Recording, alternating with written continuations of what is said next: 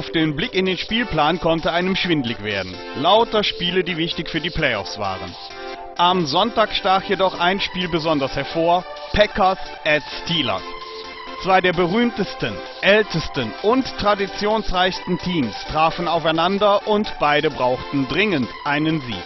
Das ist es, was den Mythos der NFL ausmacht. Das Spiel hielt, was es versprach und wurde ein echter Knaller.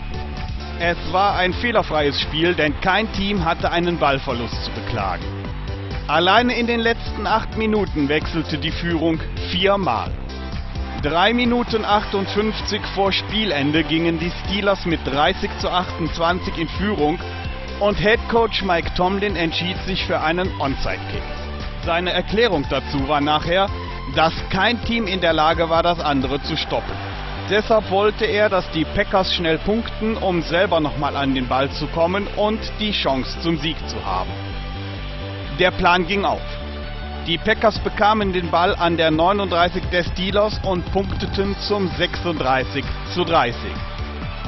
Pittsburgh kam nochmal in Ballbesitz und sie marschierten 86 Yards über den Platz zum Sieg. Big Ben warf einen Pass über 19 Yards an die linke Auslinie in der Endzone, als die Uhr ablief.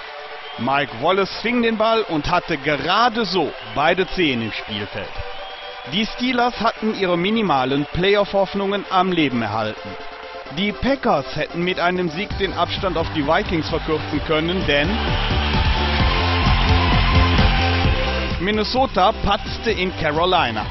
Verwundert rieb man sich die Augen, denn das Spiel lief genau andersherum, als man es sich vorgestellt hatte. Die Panthers hatten die volle Kontrolle über die Vikings, egal ob in der Offense oder der Defense. Zur Halbzeit wollte Vikings Head Coach Brad Childress Brett Favre sogar aus dem Spiel nehmen, weil der unter dem Druck der Verteidiger immer öfter zu Boden gebracht wurde. Favre gewann eine gar nicht mal leise Diskussion mit seinem Head Coach und blieb im Spiel. Ändern konnte er an der deutlichen 26 zu 7 Niederlage aber überhaupt nicht. Wieder trafen die Führer der AFC North, die Bengals, auf ein Team, das seine Division anführt, die Chargers. Doch die Bengals verkauften sich besser als letzte Woche, als sie gegen die Vikings nicht die Spur einer Chance hatten. 54 Sekunden vor Spielende schoss Bengals Kicker Shane Graham sein Team aus 34 Yards zum 24 zu 24 Ausgleich. Doch die Chargers nutzten die verbleibenden Sekunden und marschierten ihrerseits 46 Yards über den Platz in Field Goal Reichweite, obwohl sie keine Auszeit mehr hatten. Nate Keating traf aus 52 Yards drei Sekunden vor Spielende und San Diego sicherte sich seine Division, denn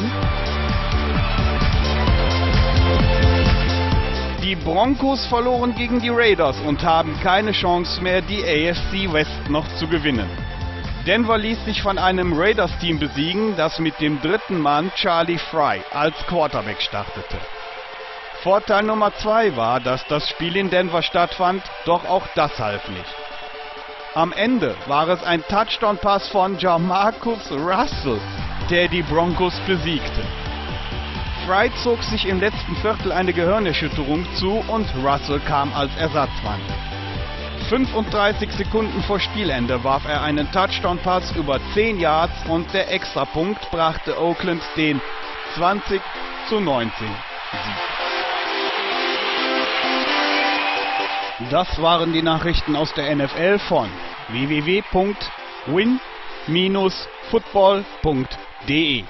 Mein Name ist Dave und ich sage Tschüss, bis zum nächsten Mal.